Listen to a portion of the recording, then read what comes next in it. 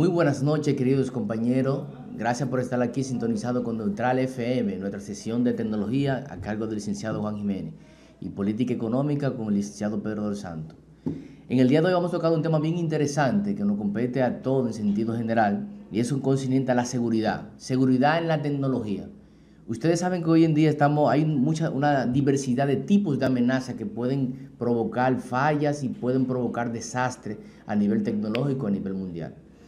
Es por esto que los dispositivos tecnológicos que utilizamos día a día deben tener o, tienen una gran cantidad de información. Como ustedes saben, la información es un bien muy valioso e incluso cuesta más que el dinero.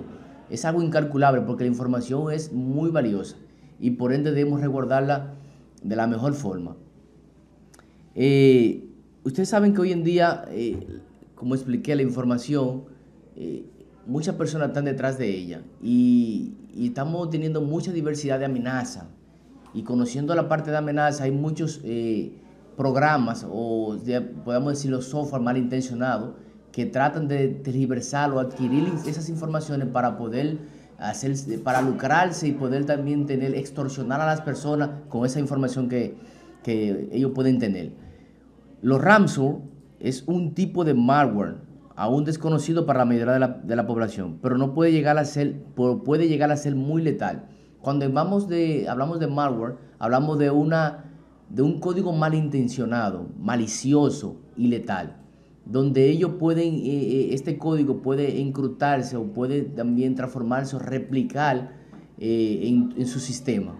En su sistema puede ser en su software que usted tenga instalado en, en la empresa o en cualquier institución. Su propagación puede ser a través de campañas de spam, malas configuras de software, falsas actualizaciones, canales de descargas engañosos, entre otros.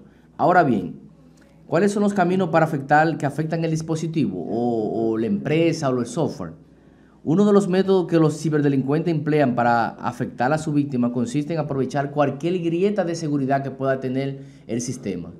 Ahora bien, esos ciberdelincuentes saben muy bien dónde está el telón de Aquiles de cada una de la empresa o específicamente de los software que tienen instalado a nivel de tecnología. Esas personas que se dedican a eso saben muy bien dónde están esos fallos, esos tics que nosotros como seres humanos cometemos esos errores. Y es por eso que se nos manda poder tener un buen, un buen sistema puede ser, puede ser un buen sistema de seguridad. En este caso, los lo, antivirus. Otro método que estos ciberdelincuentes utilizan es que ellos puedan acceder al controlador o administrador que posee todas las claves, el, user key, que posee todas las claves de, la, de las configuraciones que tienen las empresas en sentido de en la parte de tecnología. Pueden también recurrir a correos falsos. Ellos pueden utilizar eh, eh, spam, pueden utilizar correo falso, haciéndose pasar por empresas financieras. Puede ser de banco, puede ser de cualquier otra institución. No sé, un caso de uso que nosotros, en mi caso personal, trabajando aquí en una empresa eh, retail, tuvimos una amenaza bien fuerte, donde tuvimos una, había una brecha, hubo una brecha, pero comúnmente nosotros nos damos cuenta que existen brechas cuando ya están adentro los ladrones. Entonces, en ese caso, hubo, una oportunidad donde tuvimos esa brecha y pudimos salvaguardar mucha información. Otras se la, adquirieron ellos y trataron de extorsionarnos. Ahora bien, nosotros teníamos un reparto de esa información. Y es por esto que nosotros debemos hacer siempre o replicar esas informaciones a otro, a otro lugar para tenerla segura. Porque ellos saben muy bien cuáles son los métodos que se utilizan porque están adiestrados, están, eh, tienen mucho éxito en esa parte. Entonces nosotros que somos los que tenemos esa información resguardada, debemos tener mucho cuidado con esto. La forma de protección, las recomendaciones que nosotros damos a, a todos, en sentido general, es que podamos tener una buena configuración, unas buenas actualizaciones recomendadas por por empresas ya eh, sustentadas o una patente que tengamos o también empresas que tengan eh, las credenciales para poder eh, obtener las actualizaciones, configuraciones que nosotros hagamos de igual manera, hacerla de una forma eficiente, porque de tal manera así nosotros podemos resguardar esas informaciones. Hoy en día, como ustedes saben, las empresas se están cuidando muchísimo. Aquí en República Dominicana tenemos, hay muchas campañas que tratamos de poder concientizar a los usuarios que utilizan el computadora, correo electrónico y demás, de no abrir correo electrónico sospechoso.